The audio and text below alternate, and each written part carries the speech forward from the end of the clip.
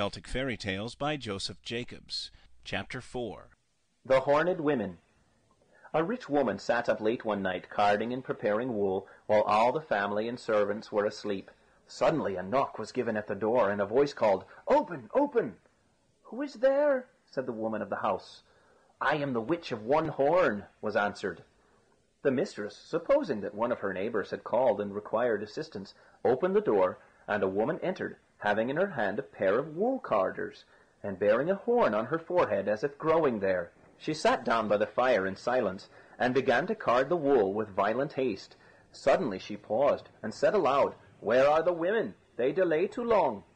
Then a second knock came to the door, and a voice called as before, "Open! open!" The mistress felt herself obliged to rise and open to the call, and immediately a second witch entered, having two horns on her forehead, and in her hand a wheel for spinning wool. "Give me place," she said. "I am the witch of the two horns," and she began to spin as quick as lightning. And so the knocks went on, and the call was heard, and the witches entered, until at last twelve women sat round the fire, the first with one horn, the last with twelve horns. And they carded the thread, and turned their spinning wheels, and wound and wove, all singing together an ancient rhyme, but no word did they speak to the mistress of the house.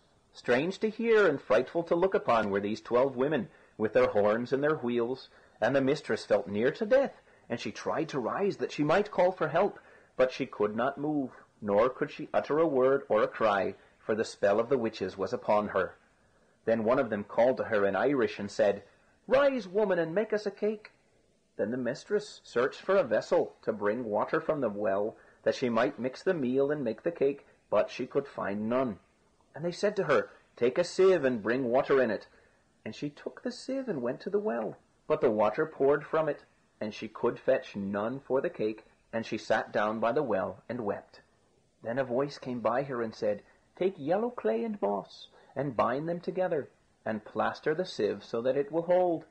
This she did, and the sieve held the water for the cake. And the voice said again, Return, and when thou comest to the north angle of the house, cry aloud three times, and say, The mountain of the Fenian women and the sky over it is all on fire. And she did so.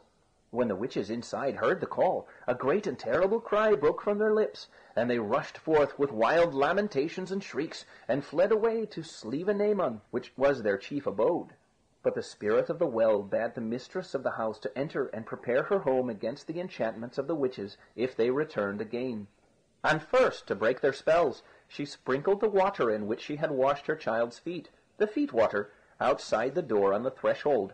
Secondly, she took the cake, which, in her absence, the witches had made of meal mixed with the blood drawn from the sleeping family, and she broke the cake in bits, and placed a bit in the mouth of each sleeper, and they were restored.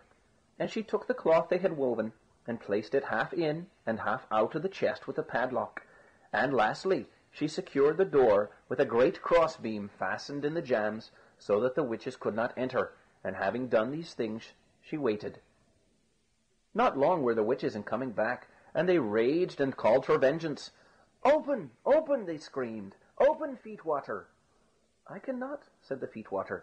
I am scattered on the ground, and my path is down to the lough. Open, open, wood and trees and beam, they cried to the door.